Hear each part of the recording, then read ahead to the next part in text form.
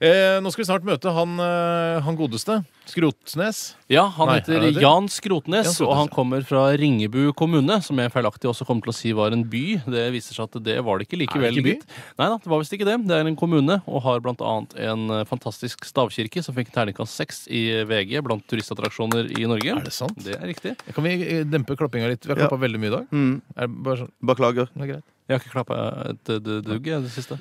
Så de har en flott stavkirke. De har fått terningkast seks i VG. Da, gitt. Ja da. Eh, og der Har jeg fikk de møtt Dagbladet. eh, Jeg tror ikke den ble anmeldt i Dagbladet. Rart. De, jeg tror ikke de anmelder statskir nei, sånn stavkirke. Statskirke Jeg anmelder ikke statskirke Så heller. feil, så feil. Humor, ja.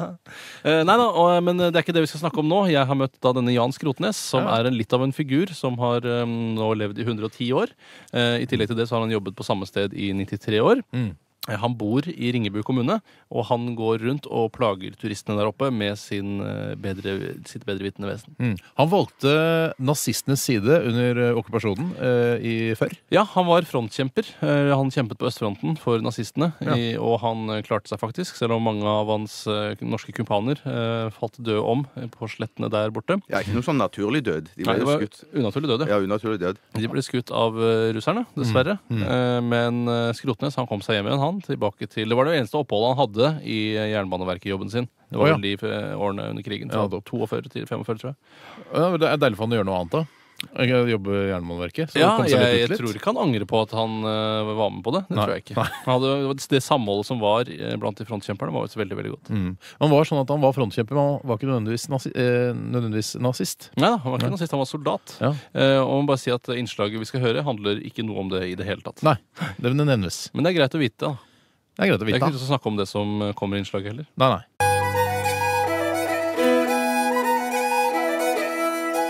Når dere skal skifte til vinterdekkur, så skal dere ha et stykke bjerkeflis mellom skruer og gjenger, ellers så faller hjulene etter en 10-15 minutter. De vet de for sikkert.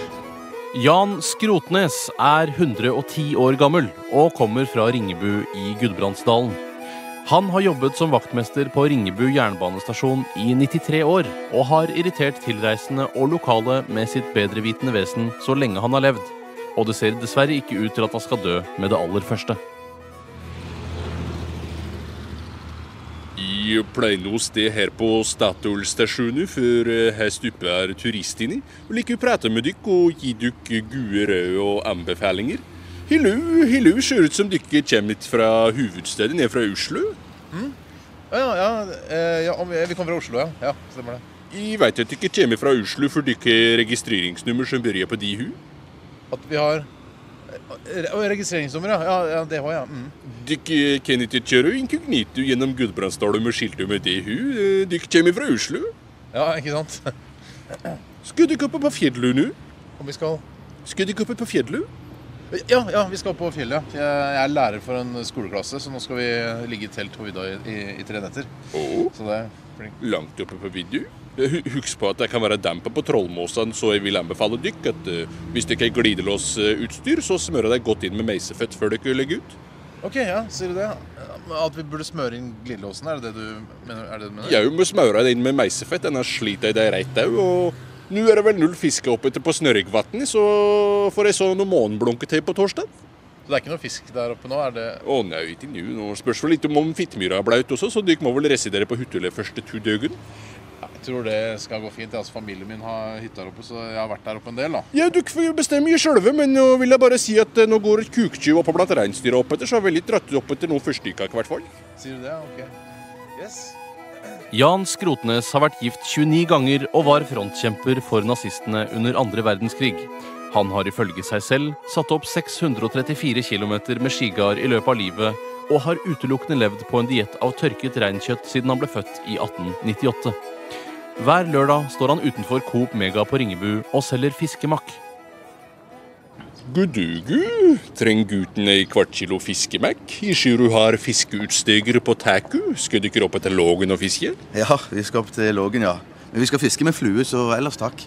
Å, hopper ni på å fange noe laks opp etter? det? Ja, vi fisker jo mest for moro, da, men det hadde jo vært gøy å få en storlaks. Det er ikke noe laks oppi Lågen, vet du. Bare hvert gammel hår opp etter. Så det er ikke noe laks i Lågen. Eh, Vi har jo hørt at det er masse. Jeg hadde jo en kompis som var her oppe forrige helg. Han hadde jo fått en laks på ja, fire-fem kilo, tror jeg det var. Å, det er nå bare horren, og horren biter ikke. Den suger bare bjerkesaften ut av drivtømmer som kommer nedetil. Men er ikke Lågen kjent for at det er mye fisk da, der? Niks, Men er du heldig, kan du dra på ei på makk oppe ved Rasprimpytten, men det er nå stort sett småmort, da. Ja, Så det er ikke noe særlig fisk i hele Gudbrandsdalen, eller? Å, jeg har nå dratt opp noe lutfisk oppe på Klittfjesvatn. Lutefisk? Ja, Men det er vel torsk som er lute, er det ikke det, da? Nei, Lutefisken er gammel regnbuerøtte som har blitt trett etter gyting og mista gatten. Ja, Det visste jeg ikke.